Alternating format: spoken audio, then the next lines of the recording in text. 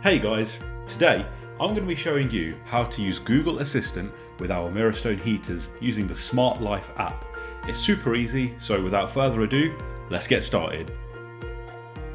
The first thing that you'll need to make sure of is that you've got the Google Home app installed on your device.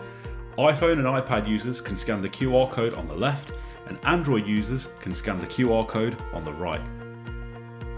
The second thing you'll need is to make sure your Mirrorstone heater is connected to your Wi-Fi network. I'll leave some links in the description below for how to do this for all our smart ranges. Once these two things are done, we're good to go.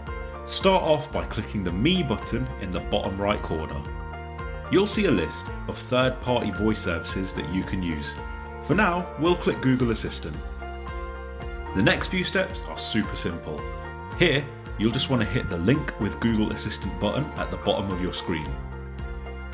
You'll see the Google Home app open up now. Here, you'll want to click the continue button, and then just go ahead and click the agree and link button. It'll take a few seconds, but next you'll see a list of all the heaters you have set up on your Smart Life app. For now, we'll just select the heaters that you want to assign into a single room and hit the add to a room button at the bottom of your screen when you're ready. You can now assign the heaters you just selected to any room you like. Me? Well, seeing as I'm sat at my desk right now, I'll pick office for this one. Hit next when you're ready to move on. My heater just got assigned to my office.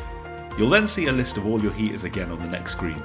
You can repeat the last few steps to assign any other heaters that belong to other rooms.